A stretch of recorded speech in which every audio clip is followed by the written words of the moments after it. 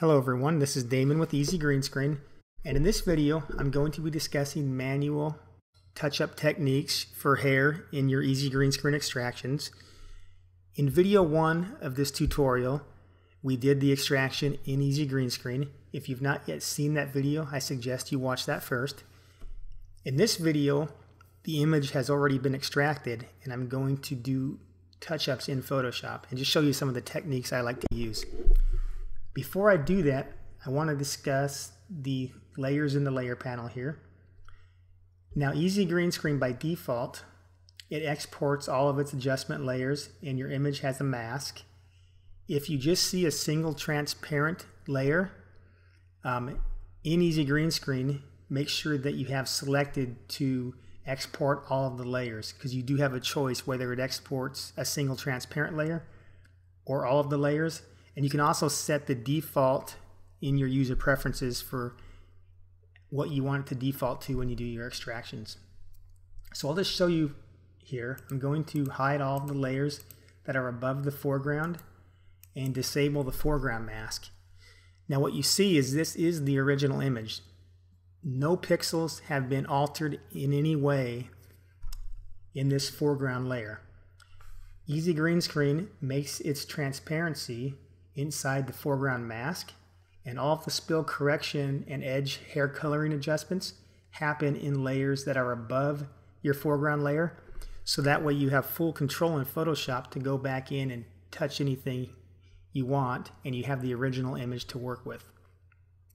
So I'm just going to enable the layer mask here and you can see with just the layer mask alone you can see that we have that green fringing in the hair now once we turn our spill correction layer back on, now this is set by the spill correction adjustments in Easy Green Screen.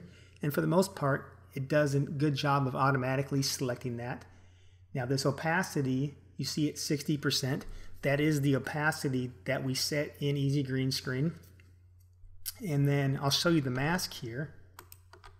This determines where the spill correction is being applied.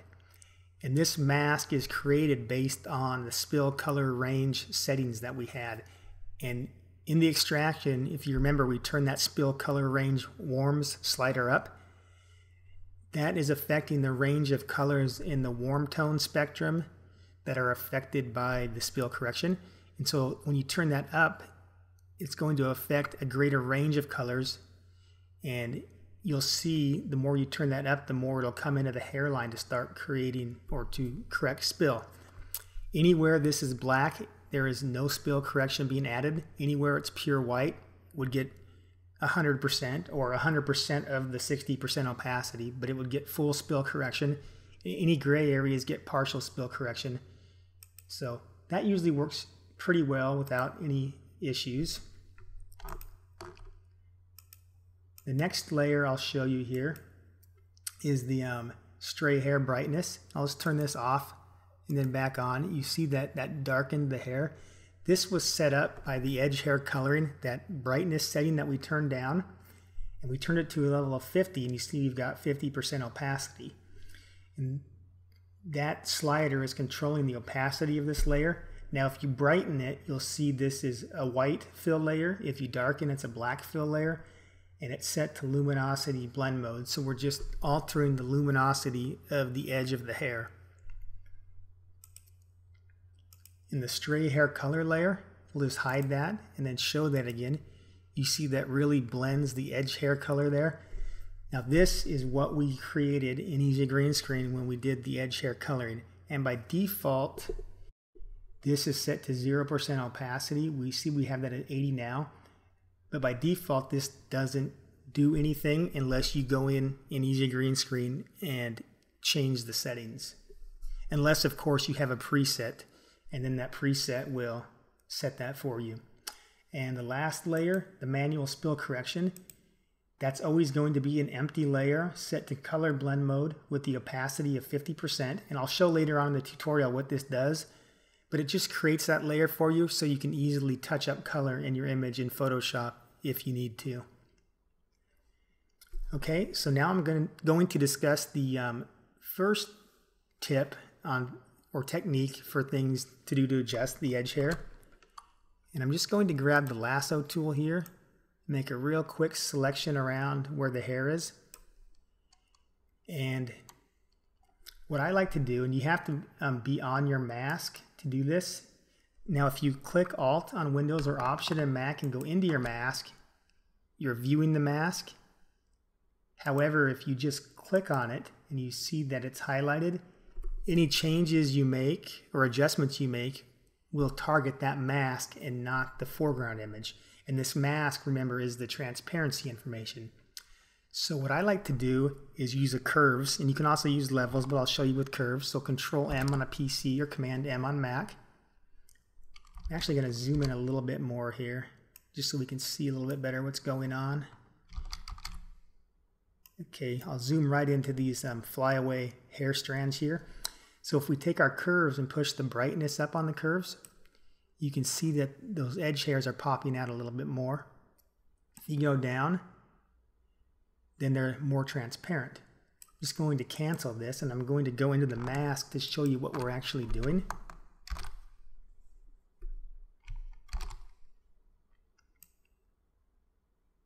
You see that we're making those hairs less transparent or more transparent. Now I'll show you you can do the same thing with levels. In your gamma slider, if you push that left, you see that the hairs are less transparent. If you push it right, they're more transparent. And you can also push the, um, the white point slider. And you can make your image almost a black and white cutout if you want. I'm just going to leave it here and show you something because a lot of people think that green screen is cut and paste and you hear image cutouts and cut and paste a lot. And I really, really don't like that because that's really not what you're trying to do. I'm going to make an extreme example here. So if we go back and view the image and you can see how unnatural that looks because it's um, so solid on the edge of the hair. And I'm going to um, hide these layers, these adjustment layers, and you can see just how green these hairs actually are. And if you remember in that first video when I was sampling colors saying that green screen really dominated the color and turned the edges of the hair green, you can really see that right here. Now if you disable your mask, and if you just looking at the image, your eyes want to see this color of hair as red, as the same color as the rest of the hair. And I think it's more of an optical illusion because it's a slightly less green than the green screen. And so your eyes just auto compensate that. At least for my eyes, they, it does. But as soon as you turn off that green screen, um, now as soon as that mask is enabled, and now we're looking at it against gray, you can really see how green the edge of those hairs are. And so when you're putting a background in, you want to do kind of the same thing the green screen was. You need those hairs to be semi-transparent so you're seeing the background through the image. And you really see where I overcorrected for that. So I'm going to um, go back to the original. And that's why Easy Green Screen, by default, really tries to make those semi-transparent. That way it's going to blend with your background. And if you turn the rest of our layers on, you can see with all of the spill corrections on, it looks a lot nicer if we're using that semi-transparency for the hair. But you can, like I say, adjust that by that method I've shown you with the curves and the levels. But I do suggest you do that when you're looking at it against the actual background you want to use. So the next technique I'm going to show is if I go into the mask if there's some areas that got semi-erased here on the edge that you want to keep, a lot of people will think that you just grab the paintbrush and just kind of paint those edges back in. But if you're not careful, you can paint back in areas that you don't want painted in. And it's really hard with your brush to be very precise. So I'm going to undo that here. I'm going to show you a better way. I like to use the dodge tool and dodge on the highlights. That exposure might be a little bit high. I'm going to turn it down to 25% or so. So how the dodge tool works is it's only going to affect this range of colors and dodge will, will brighten, but we're only going to brighten the highlights. So if I brush over, you can go over several times and it's filling in more and more. And it depends on this exposure too on how aggressive it is. But if I go over the edge, it has no effect on the background. And so if you want to do this, you can look at the image when you're doing it, but make sure you target the mask so you're dodging inside the mask, but you're viewing the image. So we can see the effect we're having on the overall the overall combined image, but we're looking at um, the image itself. So if I go down to some of these hairs, maybe you only want to brighten up a few of these strands of hair. If you're on the mask and you're dodging those, I'm going to turn this exposure up a little bit just because I think it will probably work a little bit better for these fine strands of hair. But you see now, now that we are um, dodging in the mask, you can see these hairs are starting to pop out. But remember, just like when we are using the levels, you can really overdo this. And if you look at this against a different color or against your background, you can see against certain colors or certain backgrounds it might look overdone. Now against white that looks very good, but if against dark, I think it's not transparent enough and we're really um, we're trying to make it look too opaque. And so we need to blend it a little bit more. And so by default, I think what Easy Green Screen did actually worked pretty good. So, but that is a technique you can use. All right, the next technique I'm going to show you is how to manually paint color back in to the hair. So I'm going to zoom back in here. And to do this, I think it'll be easier to demonstrate with um, these adjustment layers off because they did a pretty good job of correcting the color anyway. Um, but let's say you have an area that you want to manually touch up. So this manual spill correction layer, which is set to 50% opacity, um, you're going to go into this layer and then you're going to grab your brush tool and if you just hit the Alt key on Windows or Option on Mac, you can set the color, and you see we're setting the color of our foreground color, and that's the color we're going to be painting in this layer. So you can just paint right over the edge, and we're forcing color into this hair.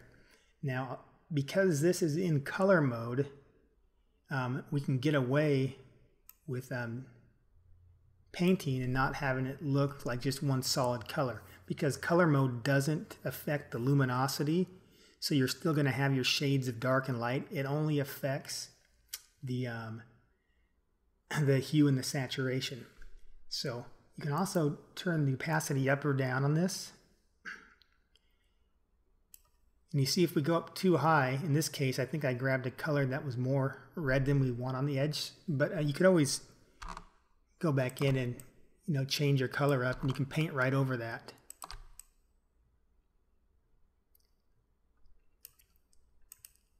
And usually at 100% it's too strong, but anywhere um, 50 to 75 I like to use.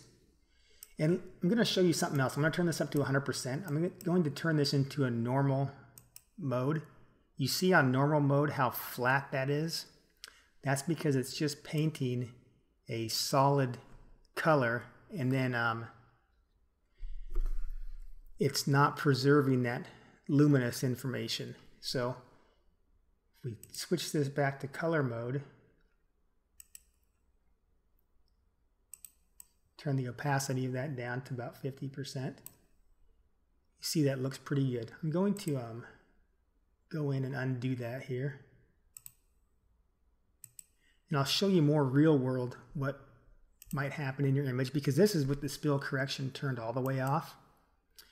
Usually what is going to happen is you might have one area in your image where there's just a hint of spill and it's just not quite enough spill correction in one small area. So then you would just go into here and you could even turn it down from 50% if you needed, but start with 50 and try that. You can just touch up one small little area and fine tune that color. And that's usually all you'll have to do. Um, but as I mentioned, I don't think we even needed to do that in this image because our spill correction that we did inside of Easy Green Screen and the edge coloring looks pretty good anyway. All right, the next adjustment I'm going to show you is we're going to do a refine mask. And in Photoshop CC 2015-5, they've actually renamed this to um, Select and Mask. But in prior versions, it's called Refine Mask. So if we right click in our mask, I'm going to go into where it says Select and Mask. And if you're not on the latest version of CC, it's called Refine Mask. And it's the same adjustments either way, but the user interface will look different. And before we get started, I want to show you something here.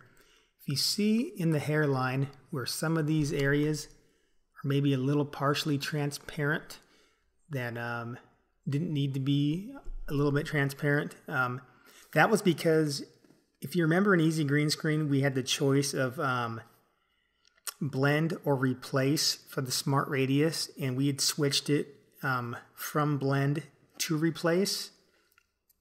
Well, what happens is Photoshop's algorithm sometimes can make things a little bit more transparent than you want further into the image, and we'd set that value up to 250.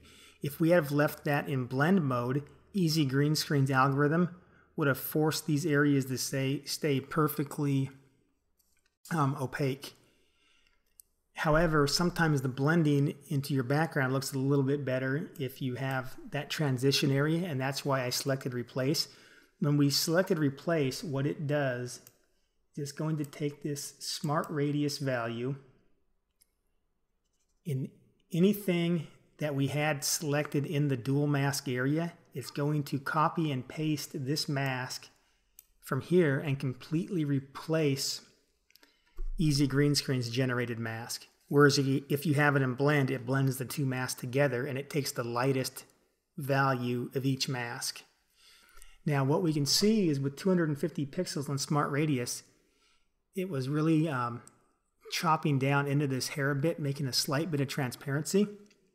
And if you remember at the beginning of that first tutorial when I made the dual selection, I was careful when I made that to not include these areas areas and I said if you take an extra few seconds and only include the areas of the edge here that you want targeted, it'll be better. And the reason why is, I'll turn this off to show that again, is because since I did not include that area in my dual mask region, it did not allow Photoshop or did not allow Photoshop Smart Radius tool to come in and erase that.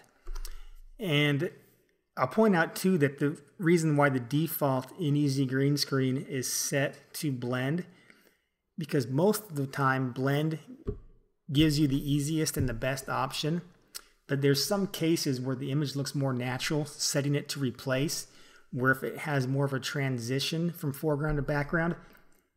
And I chose um, replace in that image. I guess more so I could, in this tutorial, show you the difference on what it does. It probably would have looked better if we had have just left it alone. But in any case, I'm going to show you in here what you can do. And since using this smart radius is going to give you the, more or less the same thing as you'll get straight out of easy green screen, although it could look a little bit different because you'd be reapplying it again, but it's more or less going to give you the same thing. So I don't use that, but what I will do sometimes is come up and use this um, refine edge brush because sometimes this can bring a little bit more detail back in the hair.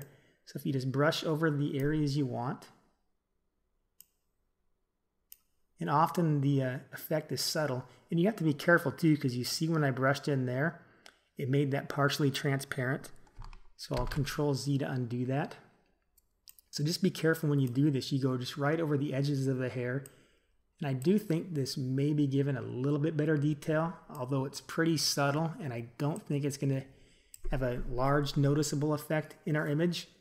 But this is something you can go in and do and just um, try to refine those edge hairs a little bit more. And I'm going to go in and um, undo that here and redo that. And you can see that it does bring a slight bit more detail out in the hair. but I will point out too that sometimes this can make it worse when you do that. To use this um, refined edge brush, you really have to make sure that the edge hair in your image is very sharp in the original image. If it was a little bit blurry on those edge hairs, then that refined edge brush is usually going to make the situation worse. And in the case of this image, um, it was a very sharp image to begin with, so it did do some good. And another rule of thumb is for the refine edge brush is it works very well with dark hair, with dark brown in particular. And with this um, dark auburn red color, it usually works pretty good. But when you get into your um, blonde hair or your um, like your light red, more of a strawberry blonde color hair, that refined edge brush can often just erase the hair altogether. So it often looks better without using it. So you can try it for your image and it can help at times.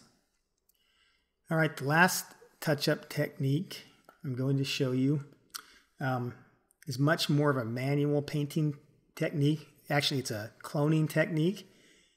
But sometimes for very difficult images, this can give you the result that you are looking for. And so I think what I'm going to do for that, first let's start back with the original again think what I want to do is just hide all of these layers because I think the effect, you'll be able to see more what's going on if we hide these layers. So I'm going to um, create a new layer.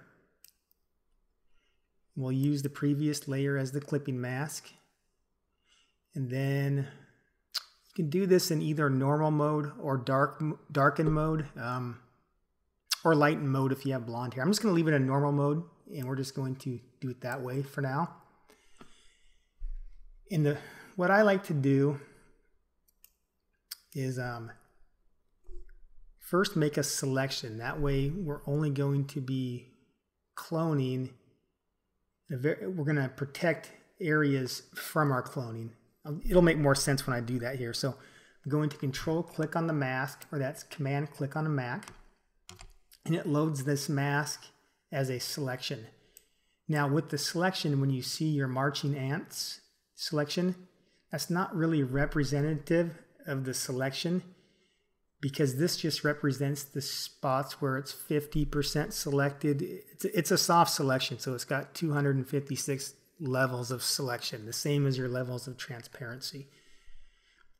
So now that we've got this, I'm going to invert that. So you go select inverse. Now instead of selecting the foreground area, we are selecting whatever is outside of the image. Then I'm going to expand the selection. And it's depending on the size of your image, this is going to be different. I think I'm going to expand it by 7 pixels. That just seems about right. So now we're selecting more around the outer part of the hair. And then I, I like to feather this selection. That way you don't have any hard transition points. And when you feather, the rule of thumb is to feather less amount of pixels than the selection was made. So we um, selected seven pixels. So I would feather maybe half of that. So I think three pixels will be good. And now I like to hide this selection so I don't have to look at this when I'm working. So Control H will hide that. And then that is still selected, but we just aren't looking at the selection. So now what I do is I'm going to grab the clone stamp tool and make sure your sample is set to all layers and then I'll just hold the Alt down to make an area that I want to clone. So what I'm doing is I'm, if there's any areas in the hair that you want to touch up the texture as well as the color, you can just clone it in for another area. But you want to try to find an area that's got the grain of the image or the, the flow of the hair that looks similar. So for example, in the edge here where we see this curl kind of coming out, if we find an area in the hair that sort of matches that, we can select that as the area to clone. And then we can brush right over the edge here. You see that we're now brushing in hair color and texture so it looks really, really good. We're just forcing that right in. And you can see we're doing that with all of these layers turned off, all of these adjustment layers. So really the only thing we have is the transparency being set. And then we're doing all of the spill correction and the color correction by using this clone. Now this is a little bit slower of a method because you'll have to go through your whole image and do this. But you can really get some good results if you do this. And usually what's going to happen is you'll have these turned on and if you see one particular area that you say okay that doesn't look quite right for well this looks pretty good but let's just say it didn't look pretty good we could try to find an area that we think could match that and then come in here it might be hard to see on the video but we're actually replacing the edge of this hair with information here. And you can go right over the edges of the hair because this layer is clipped to the transparency and it's clipped to the transparency all the way down to our foreground layer. Because all of these layers are clipped above it, every single one of these is clipped to this transparency. And if we release the clipping mask, I'll show you here. Now you can see that any area we cloned is outside or it's not using that transparency. So you can really see what we've cloned. But when we um, have it clipped, you can see the effect that it has. So that's a pretty powerful technique.